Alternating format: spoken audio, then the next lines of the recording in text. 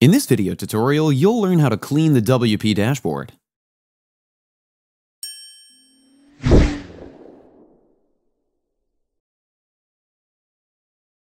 In order to clean the WP admin dashboard, all you need to do is log into your dashboard.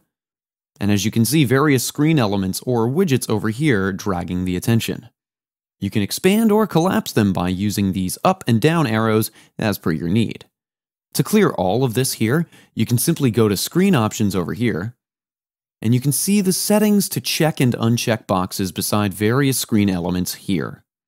Some screen elements can be shown or hidden by using the checkboxes, so simply check or uncheck boxes as per your requirement. You can see the dashboard is clean now. You can move back to Screen Options and again configure the settings. You can also drag and drop the screen elements like this. So this is how easy it is to clean the WP dashboard. That's it for today's video. If you have any questions or comments, please leave them in the comments section below. And if you like this video, please click on the like button. If you're new to our channel, hit the subscribe button and tap the bell icon so that you don't miss any of our future videos. Thanks for watching. We'll see you at the next one.